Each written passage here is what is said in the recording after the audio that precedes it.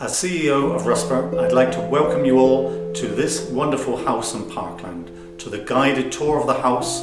to all the other visitor attractions available for families to enjoy when they come to Russborough.